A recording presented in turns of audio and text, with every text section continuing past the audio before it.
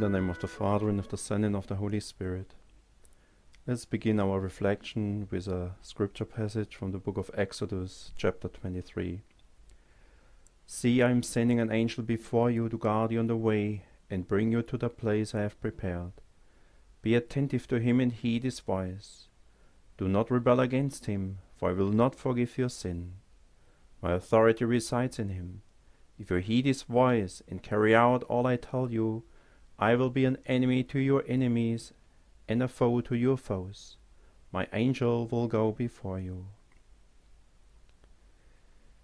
Dear brothers and sisters, right now, large parts of the world are greatly affected by the coronavirus disease, which has far reaching consequences on, basically on all aspects of our lives, whether social, economical, political, and even religious.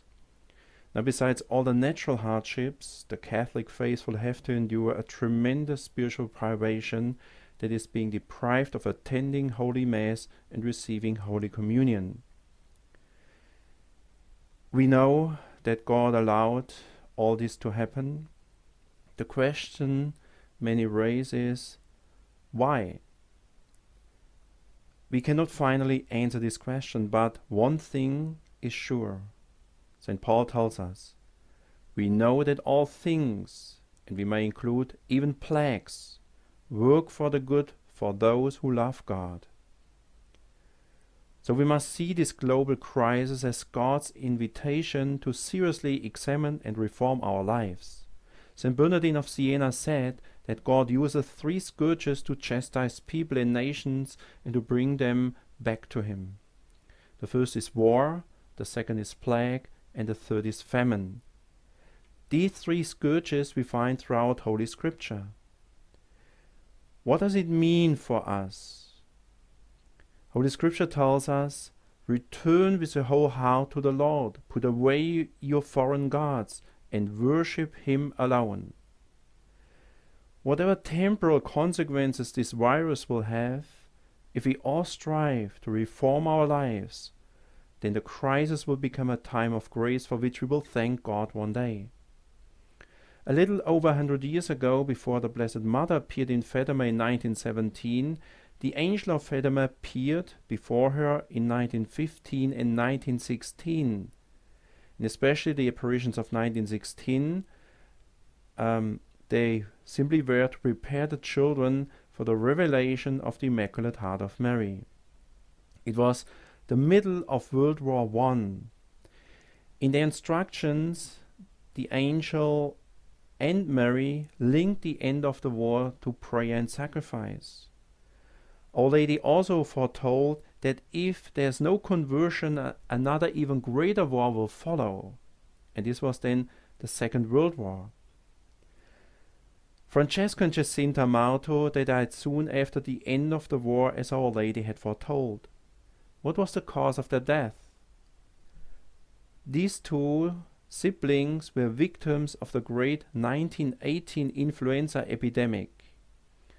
Right after the war, large parts of the world were befallen by the Spanish flu.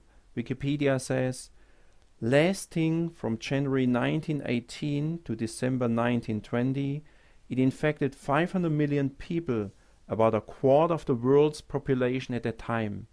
The death toll is estimated to have been anywhere from 17 million to 50 million, and possibly as high as 100 million, making it one of the deadliest epidemics in human history. End of quote. Note, Saints Francesco and Jacinta in their short lives had been confronted with a world war and one of the deadliest epidemics ever. The scourge of war and plague had given them the opportunity to offer their lives heroically for the salvation of souls to the point that the church canonized them. In fact, they are the only canonized children in the history of the church. Pope Pius XI still refused the initiation of a process of canonization for the children because he believed that the two children could not fully understand heroic virtue or practice it repeatedly, both of which are essential for canonization. But the church then learned more and more, and then John Paul II finally beatified the two young saints in the Jubilee year of 2000 on May 13th, and Pope Francis, as we all know, canonized them on May 13th, 2017.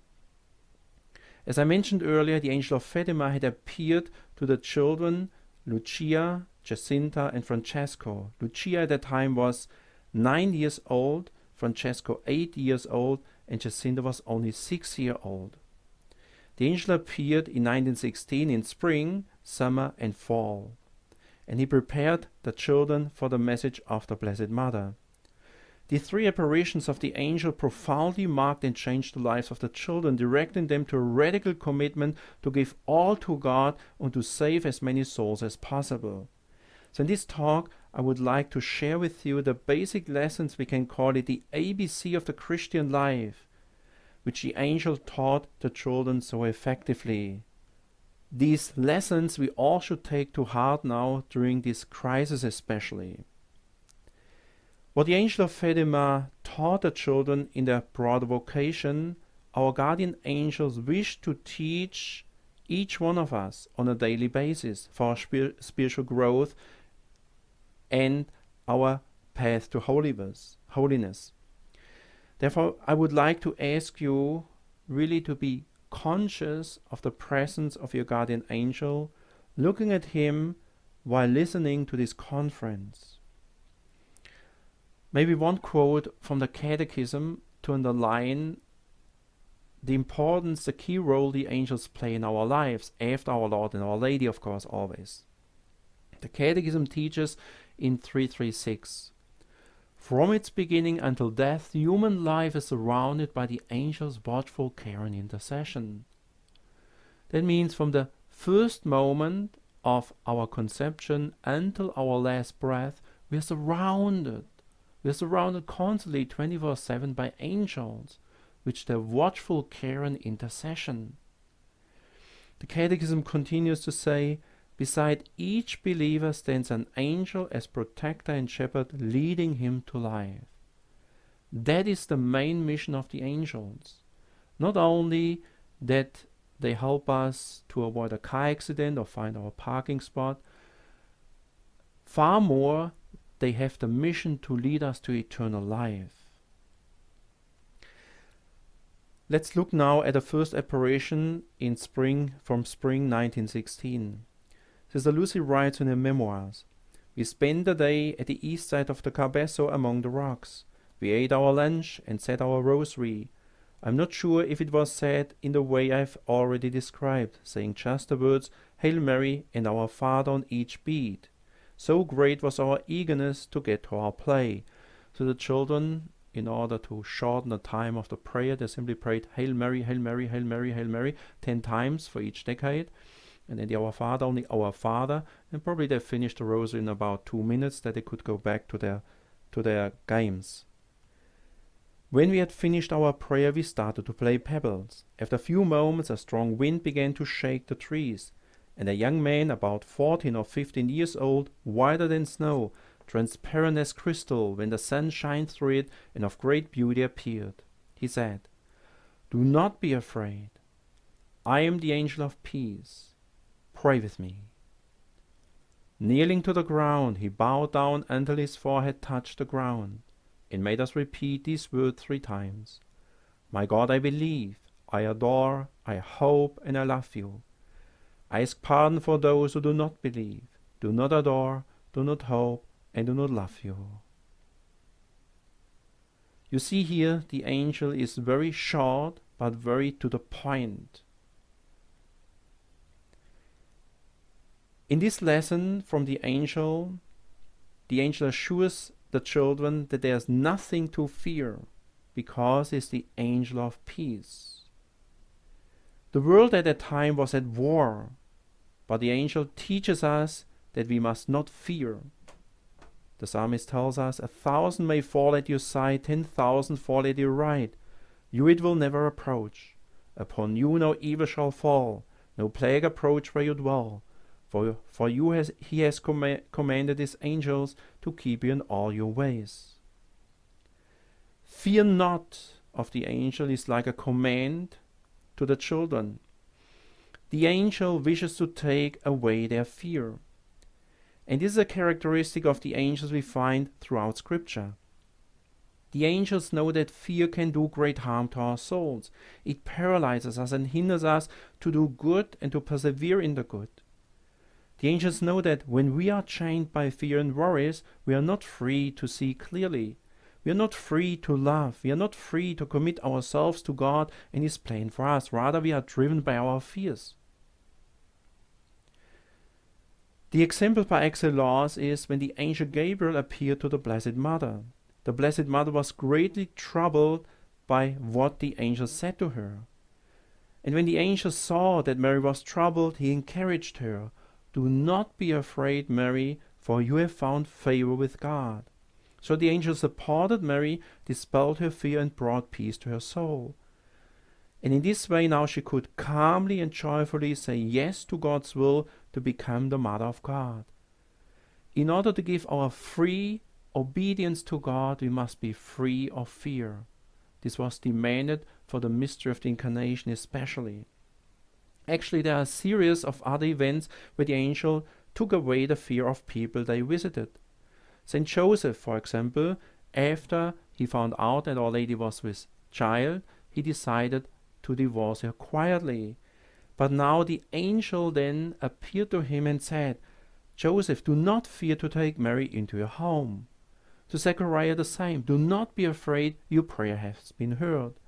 To the shepherd in Bethlehem, do not be afraid, tonight the Saviour is born. To the woman at the morning of the resurrection, do not be afraid, he is risen, and so on. Even our Lord had an angel coming to him to help him in his most fearful moment of life. When our Lord entered into his agony, he was afraid. The burden of all our sins was so heavy and he prayed three times to the Father Father, take away this chalice.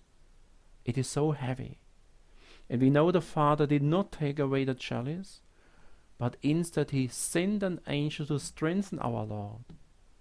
And then, with this new strength, our Lord was ready to embrace the cross and to save us through the cross. And this was given to us as an example, and we are afraid when we are discouraged, when we are weak, and we persevere in prayer, then God will send His angel to strengthen us in all our needs. So, very important, do not be afraid. Our guardian angel wants to comfort and encourage us when we are troubled and are afraid. Right now, you may fear to contract the coronavirus yourself, or one of your loved ones may contract it. You may fear an economic recession. You may fear losing your job. You may fear losing comfort and life opportunities. You may fear not seeing your kids or parents due to the mandate of social distancing. So there's so many fears people are driven by. But the angel of Fatima and our angels say to us, do not be afraid in this crisis. Do not be afraid of sickness. Do not be afraid of the cross, for you have found grace with God. Now, the first step to obtain or persevere in that peace is prayer. And therefore, the angel invites the children after he had told them not to be afraid. The next sentence is, Pray with me. And then they learn both a prayer and how to pray. It is a prayer of adoration and reparation for the salvation of souls. My God, I believe, I adore, I hope, and I love you. And ask pardon for those who do not believe, do not adore, do not hope, and do not love you. There are so many people out there who do not believe, do not hope, do not love. In this time of trial, we should not seek worldly distraction. We should not listening or watching constantly the news. This will not take away our fears, but it may even increase our fears. Yes, we can keep being informed what is really necessary. But then let us all the more turn to God in prayer in prayer in order to intercede. The psalmist says, Our hope is in the name of the Lord, not in the news, not in worldly undertakings. if we focus too much on the news, it will somehow paralyze us, at least spiritually, and we look too much on the temporal impact and may seek our salvation alone in human undertakings.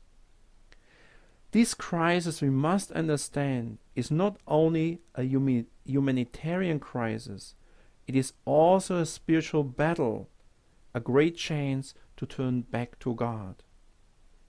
The first commandment says, You shall love the Lord your God, adore and serve him. This is what we need to learn anew. Adoration. Adoration of God is our very first duty and vocation as creatures. Holy, holy, holy Lord God of hosts. The angels proclaim.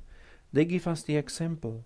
Like the children of Fatima, in this time of great trial, should pray and adore in union with Mary and the angels, so that with, the, with their help we may be able to grasp more fully the meaning of these words and then to offer due worship to God.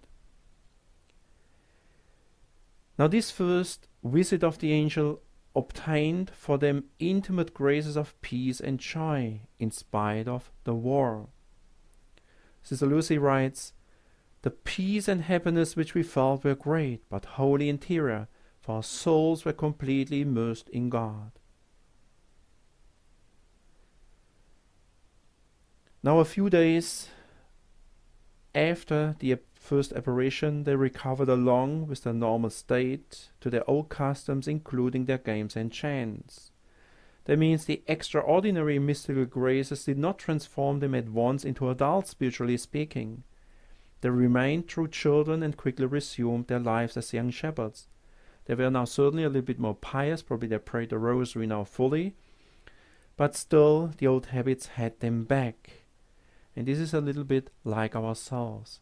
Especially when times are prosperous, we forget prayer and we forget also our call to, to make reparation for our sins. So now let's move to the second apparition. One day, when the children were playing, the angel again appeared and almost reprimanded them. What are you doing? he asked them. Pray, pray very much. The most holy hearts of Jesus and Mary have designs of mercy on you. Offer praise and sacrifices constantly to the Most High. This is also a wake up call for each one of us. We live in this world. We have our daily routine prayer, work, recreation. But also, we need to check frequently whether we truly realize the urgency of our calling and our mission. Do we pray and sacrifice as much as we should, as much as we can? There are so many unbelievers, there's so many people who are in trouble who needs our prayers and sacrifices. Lucy was al- always very practical. And so, in regards to this few words of the angel, she asks, How are we to make sacrifices? And then the angel said, Make of everything you can a sacrifice and offer it to God as an act of reparation for the sins by which he is offended, and in supplication for the conversion of sinners. You will thus draw down peace upon your country. I am its guardian angel, the angel of Portugal. So again, very few sentences, few words relatively spoken, speaking, but packed full of meaning. So the angel speaks about sacrifice. His teaching is key to growth in holiness. To live a life of sacrifice for the love of God and souls is so important. We are, we are all called to make of everything an offering to God. Often, when people hear about sacrifice, they first think on pain, suffering, something that is really a hardship for us. But sacrifice does not necessarily mean or imply suffering and pain. Sacrifice comes from the Latin sacrum facere, it means to make holy. So simply everything we order to God, we give back to Him, is a sacrifice. So, for example, there are sacrifices of joy, sacrifice of thanksgiving. We can have a good steak, a good ice cream, and we can say, Thank you, Jesus, for this good ice cream, for this good steak. It's a sacrifice of thanksgiving, pleasing to God. Of course, more pleasing to God are those sacrifices which really cost us something. But in general, we should make sacrifice of everything, a sacrifice of everything. Beginning, beginning in the morning when we get up. Jesus, I offer you now getting up from bed as a sacrifice of love for the salvation of souls. Then the angel distingu dis distinguishes between two kinds of sacrifice the sacrifices we choose, and the second kind is the sacrifice God sends us. The first kind is very important. We should grow into this sacrificial spirit through making constantly sacrifices. Not huge sacrifices, we don't need to scourge ourselves, but little sacrifices, little renouncement, little acts of love. For example, we all like food, I believe. So we could simply make now the resolution from now on, I will not take any meal without making one little sacrifice. For example, in the morning, when you like three eggs, take only two and say, Jesus, I renounce one egg for love of you, for the salvation of souls. Also, when it comes to sit at table, we can take the last seat and sit where no one else wants to sit. Or we can do the dishes today, we can clean the toilet. We can maybe call somebody who is in need, who is in the hospital with sickness. We can renounce television, surfing in the internet, and so on. So there are countless opportunities every day where we can renounce and make little sacrifices, sacrifices we choose. But then the angel goes on and says, above all, that means this is even more important, accept and bear with submission the suffering which the Lord will send you. And these latter penances are the hardest to offer as a gift, but they also have the most value. To be clear, we need both kinds of sacrifices. In order to build up energy, to build up strength, we need to train ourselves by voluntary sacrifices. And then when God will send us his sacrifices, then we will be ready and have the strength to carry them out. Dear brothers and sisters, it remains the same as it was 100 years ago. Sacrifice accompanied with prayer are the way, the only way we can draw grace and peace upon our country and families. Lucy commented later on the effects of the words of the angel of making a sacrifice of everything. She said, these words made a deep impression on our minds and hearts, like a light, making us understand who God is, how much He loves us and desires to be loved, as well as the value of sacrifice, how pleasing it is to Him, and how on account of it He grants the grace of conversion to sinners. For this reason, from that moment, we began to offer up all that mortified us, and to remain for hours with our forehead touching the ground, repeating the prayer the angel had taught us. This lesson of the angel brought now a transformation to the children. From now on, they will not go back to their old ways. Prayer alone is not enough to be transformed. There must be added a great light of sacrifice. Our Lord said, that if we wish to be his disciples, we must renounce ourselves, take up our cross, and follow him. Sister Lucy emphasizes here the enlightening experience. Now they understood with all the fibers of their being who God is, how he loves us, and desires to be loved, as well as the value of sacrifice. This teaching on sacrifice brought light, pure light, into their souls. That is also how tradition understands the cross. The cross is not darkness, the cross is light. Once we embrace our cross, do not only drag it, but really embrace it freely and lovingly, then it becomes pure light. Then we see more clearly. And then we know really the priorities in our lives. The priorities are not fun. The priorities are not being happy in this world. The priorities is to adore God, to love Him with all our heart, to serve Him, and then also to bring as many souls to Him. Yes, sacrifice is a great light. The cross is a great light. It gives guidance, resourcefulness, decisiveness to the soul to walk in union with Mary and our guardian angel in the footsteps of our Lord. In this lesson, the angel also revealed himself as the guardian angel of Portugal. This is an occasion to reflect on the fact that every country has a guardian angel. God has also assigned a powerful guardian angel to, to the United States, which we should venerate and invoke in regards to the good of our country. We can also invoke this guardian angel of the United States to assist every citizen here in the country in this corona crisis. Now let's move to the third apparition. At the third apparition, the angel teaches the children another prayer. It is also a prayer of reparation. This time, the children prostrate before our Lord in the Most Holy Eucharist. Sister Lucia writes, The angel was holding a chalice in his left hand with the host suspended above it, from which some drops of blood fell into the chalice. Leaving the chalice suspended in the air, the angel knelt down beside us and made us repeat three times.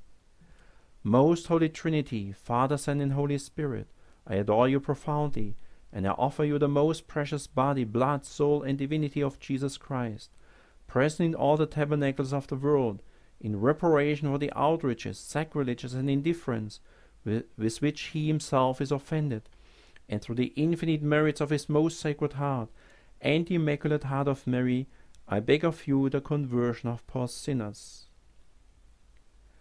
So the angel of Fatima taught the children how to make a communion of reparation. In Holy Communion, Jesus gives himself to us with his body, blood, soul, and divinity. Jesus tells us in the Gospel of St. John, He who eats my flesh and drinks my blood abides in me, and I in him.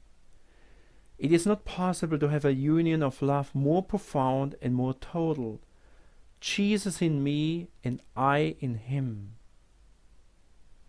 The prayer of the angel prayed before the Eucharist teaches the children to offer their own sacrifices in union with the infinite merits of the cross of Jesus made present in the most holy Eucharist. It is the highest reparation that can be offered, the sacrifice of God Himself, and gives merit to our own sacrifices. Further, through the merits of Jesus and Mary, the children are taught again to intercede for sinners. Then rising, the angel took the chalice and the host in his hands. He gave the sacred host to Lucia and shared the blood from the chalice between Jacinta and Francesco.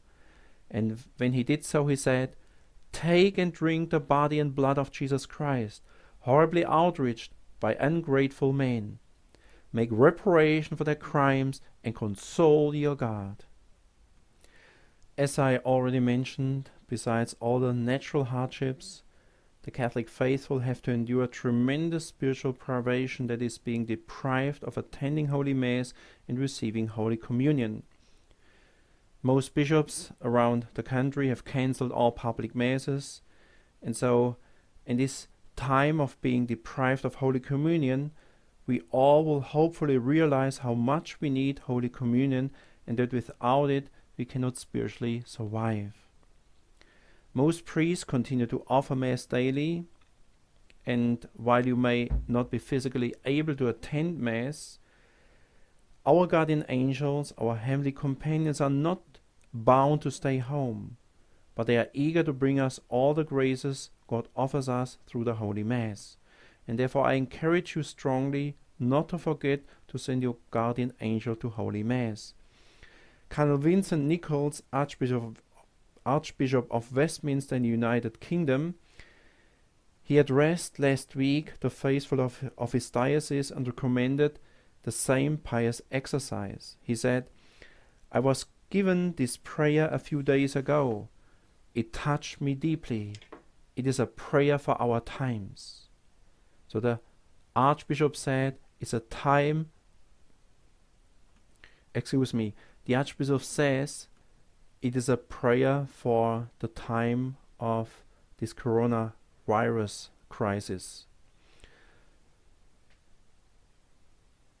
And the prayer is as follows Dear guardian angel, go for me to the church. There kneel down at Mass for me. At the offertory, take me to God and offer Him my service. What I am, what I have, offer as my gift. At a consecration, with your seraphic strength, adore my Saviour truly present, praying for those who have loved me, for those who have offended me, and for those who now deceased, that the blood of Jesus may purify them all. During Holy Communion, bring to me the body and blood of Jesus, uniting him with me in spirit, so that my heart may become his dwelling place. Plead with him that through his sacrifice all people throughout the world may be saved. When the Mass ends, bring home to me and to every home the Lord's blessing. Amen. In this time when we cannot go to Mass, the faithful at least, the bishops strongly recommend that we make spiritual communions. According to St. Thomas Aquinas, spiritual communion consists of an ardent desire to receive our Lord Jesus Christ in the most holy sacrament. And the advantages of this mode of communion are very great. St. Catherine of Siena was shown in a vision how precious one spiritual communion can be. Again, the value of a spiritual communion depends on our desire. As soon as we desire to receive our Lord in the Blessed Sacrament, Jesus comes to satisfy our desire by way of spiritual communion. The psalmist says, For he satisfies him who is thirsty, and the hungry he fills with good things. To practice it, we do not need to be in a church. Our most faithful companions, the holy angels, are bringing Jesus to us. If not in sacramental form, like the angel Fatima did, they can bring Jesus in a spiritual way. So let us often make spiritual communions during the day. Even we are not able to receive our Lord sacramentally, we nevertheless can receive Him spiritually.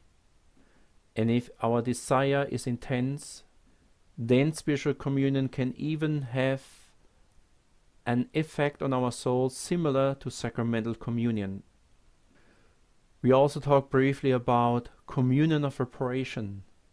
Normally, communion of reparation is based on receiving our Lord sacramentally. And since we are not able to receive our Lord sacramentally, we cannot offer communion of reparation in this sense, but nevertheless, I believe that our Lord also accepts our spiritual communions if we offer them as communions of reparation. So let us never forget in this crisis our brothers and sisters who are in need, especially in spiritual need, of course, also in physical need. In October 1918, Jacinta had an apparition of Our Lady telling her that she would soon take her and Francisco to heaven. In spite of their grave sickness, both children insisted to walk to the church to make Eucharistic adoration and to prostrate themselves to pray for hours. They knelt with their heads on the ground as the angel had instructed them to do. Right now, many faithful are not able to go physically to church, but again, we can send the angels and adore in spirit our Lord in the Blessed Sacrament. Things were moving fast. Francisco died on April 4, 1919, due to the Spanish flu. Jacinta had to wait almost a year more to go home. Formerly, one of Jacinta's greatest fears was to be away from home and to die alone. First, she was put into the hosp- hospital in Ourém, which is a city very close to Fatima, and later on she was moved to Lisbon, where she had to undergo surgery. Two of her ribs has were removed. To save many sinners, she declined to be fully anesthetized. We see her again this great soul, her immense generosity to do everything to save souls. After her immense growth through prayer and sacrifice, fears had disappeared in a certain sense. On February 19th, she asked the chaplain of the hospital for Holy Communion and the extreme unction and told him she would die the next night. The chaplain, however, did not believe her. Next morning, they found her dead in her bed. Jacinta had died alone as she had foretold. Though it was always her greatest fear to die alone, she wanted to consciously make this sacrifice. Let us sum up the lessons of the angel. In the first apparition, the angel instructed the children, Pray, pray very much. It is also a call for all of us to intensify our prayer life. That we pray at least every day the rosary. If we already pray a rosary, maybe we can pray two rosaries. There are so many people who do not pray the rosary. We should also meditate on scripture every day. The faithful are not able to attend Mass right now, but I hope all of you have a missal. And so it would be good to go through the Mass text for every day. Then it is also a great opportunity to train ourselves to walk always in the presence of God. The Church also recommends to the faithful to pray the liturgy of the hours. Then during the day we should often simply make ejaculatory prayers. Jesus, I love you. Jesus, save souls. Jesus, help all those befallen by the coronavirus. Jesus, Mary, heal the sick. Let no one die today without your grace. Then the second lesson of the angel was make of everything a sacrifice. And above all, that we accept the sacrifices God sends us. So let us begin or intensify to live a sacrificial life. That we do not simply decide and make plans according to what we like, but really what is really good. That we often during the day renounce little things for love of God and for love of neighbor. Such sacrifices build up a tremendous strength in our lives and our souls that then we can also face the sacrifices God sends us. And finally, the third lesson of the angel about Holy Communion. So, in the context of the crisis, that we now intensify our spiritual communions. Send your angel to church and to Mass. Stir up your desire for Holy Communion. Adore our Lord in the Blessed Sacrament, even you cannot be there in church. Console your God, as the angel Fatima said, and plead for all mankind that this crisis may become a time of grace, a returning to God with our whole hearts. Let us pray for our own conversion, for the conversion of the church in general, for the conversion of the church in the United States, for the conversion of our country, for the conversion of the whole world. At the end of this talk, let us pray the prayer of the angel. Most Holy Trinity, Father, Son, and Holy Spirit, I adore you profoundly, and I offer you the most precious body, blood, soul, and divinity of Jesus Christ, present in all the tabernacles of the world, in reparation for the outrages, sacrileges, and indifferences by which he is offended, and by the infinite merits of his most sacred heart and the Immaculate Heart of Mary, I beg of you the conversion of poor sinners. May God bless you all.